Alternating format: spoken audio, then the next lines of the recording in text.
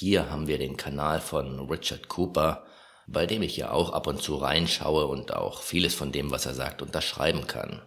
Hier hat er im Interview einen Burschen, der nennt sich Tony Huge, lebt in Thailand, lässt sich wie Richard auch in der sogenannten Manosphere einordnen und gibt sich kritisch gegenüber der Vogue-Kultur. Soweit, so gut, da gibt's erstmal nichts dran auszusetzen, aber wenn du reinhörst oder dir halt wirklich die Philosophie zu Gemüte führst, dann poppen da doch gewaltige Fragezeichen auf, sollten sie zumindest. No, ladyboys are amazing here. They they're they're men that want to be women.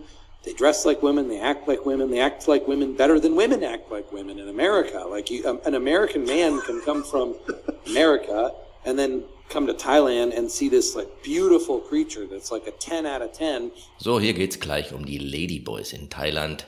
Und Tony, der hält die für wunderbar, wunderschöne Kreaturen die Frauen sein wollen und sich weiblicher verhalten als Frauen in Amerika, also gemeint ist im Westen. And knows exactly how to treat him sexually and psychologically. Mm. And I mean, I've been seduced by plenty of ladyboy and even tricked.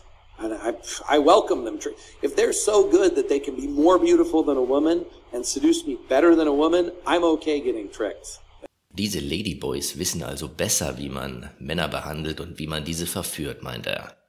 Er selbst wurde unzählige Male von ihnen reingelegt und verführt, was er begrüßt und ganz super toll findet. Wir haben hier also einen Kerl, der sich maskuline Werte auf die Fahnen schreibt, die Moral und Psyche der Frauen im Westen anzweifelt und sich von She-Males in Thailand vernaschen lässt. Mhm. Mal sehen, was noch so kommt. And, and I get a lot of criticism for saying that, of course. That's interesting. So I think it's the opposite of gay. I think what's gay is being with an American woman who acts more masculine than a man, and uh, versus like a Thailand ladyboy who's super feminine and, and acts the femininity even more than an American woman. So, er hält sich also nicht für schwul, sondern schwul wäre für ihn mit einer westlichen Frau zu sein, die sich ja viel männlicher verhält als die Knaben in Thailand. das ist schon bemerkenswert. Und ich meine damit den Zustand, den Teile der sogenannten Manosphere erreicht haben und die Alternativen, die uns diese Figuren vorstellen. Und Richard hier, dem fällt erstaunlicher oder bezeichnenderweise gar nichts ein, außer zu kichern und es interesting zu finden. And they don't care about they don't care about like their labels or their right. They'll use the women's bathroom and they look like women and they act like women and the women don't care at all because the women see the ladyboys as them. Because they they are acting exactly like they're friends with them. Die sind also so weiblich, dass es nicht mal den Frauen dort auffällt und diese Ladyboys sogar als ihresgleichen betrachten. Mhm. Siehst du, was hier passiert und wie dir das als normal verkauft wird? And and ladyboys also because they have a little bit of the male brain, they're smarter and they were better at business and they're also more logical.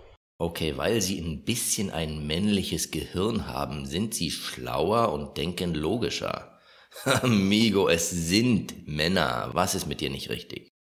There's apparently some level of sex tourism uh, that goes on because there's a demographic of ladyboys in Thailand. I think it's mostly Germans that are known for wanting to visit and hang with these dudes. Is that like, what is that Avatar about?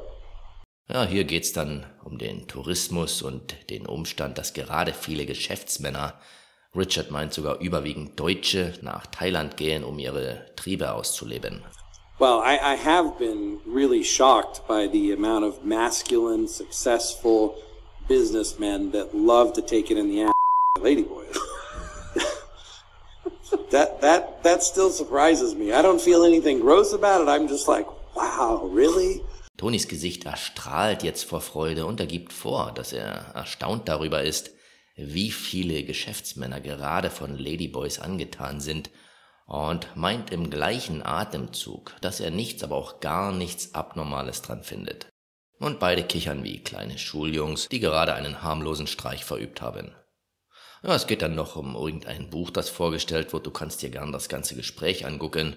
Ich persönlich, ich find's besorgniserregend, um nicht zu sagen krank bis in den Kern.